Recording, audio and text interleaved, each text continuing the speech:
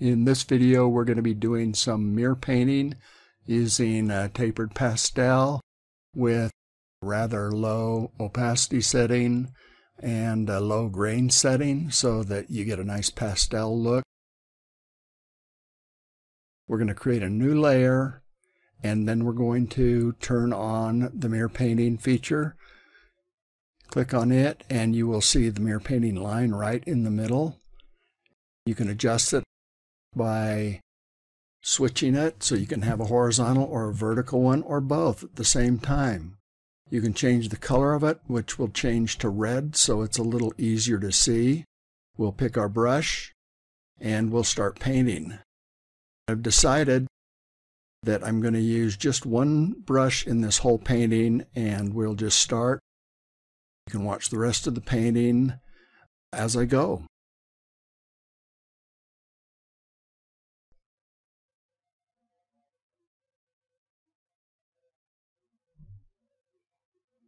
You can see I've decided to do a face and mirror painting is really, really fast. It uh, speeds things up so that you can paint one side, the other side gets painted at the same time. Wonderfully quick way to work if you're using anything with bilateral symmetry or if you have a horizontal guide, it can make it so you're drawing in kind of a kaleidoscope fashion.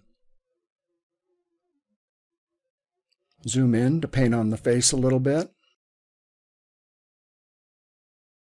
I constantly adjust things as I paint. I'm not using any reference for this particular painting. I'm just painting away. It's funny because sometimes I will work on the right side of the mirror and sometimes I will work on the left side of the mirror. I don't know that there's any rhyme or reason for that. I just find that I do it now and then. Continuing to refine the face. I use as big a brush as possible, and the beauty of using one brush, you are able to concentrate on the painting and not change brushes. So I'm just working on one layer above the background using one brush. I am adjusting really only the color and the size of it. I'm going with the same opacity.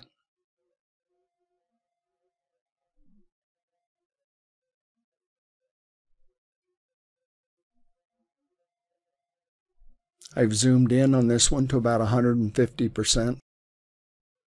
The original image is 1600 by 1200 pixels.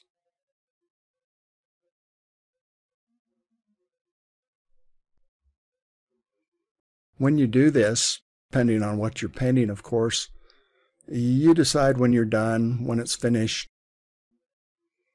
It's just an extremely quick way to paint something where you want it to look symmetrical on both sides. It's also a great way of coming up with ideas. If you are a little stumped for an idea, make some scribbles using the mirror painting feature. Get some neck on this character.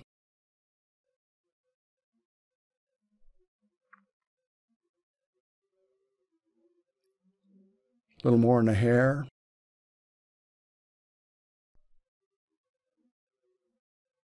Little more blue eyeshadow. Don't know why I chose blue. It doesn't really matter. Paint some highlights in the hair a little bit. Highlights on the shirt collar. The original painting took about 30 minutes. This is obviously sped up.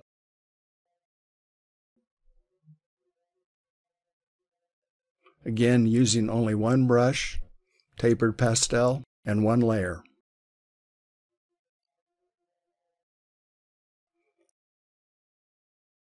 Added a new layer to paint some background in behind her. And we're just about done at this point. Change the radius for a few small details.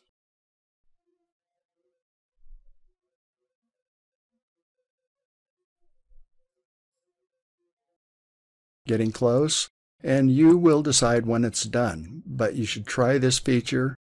It's great to experiment with. It's very creative. I do a lot of character design using mirror painting. And if I'm stumped, I'll just warm up doing a quick mirror painting. So I hope you enjoyed watching this. I hope you're inspired to try mirror painting. Use only one brush. I just turned off the mirror painting there.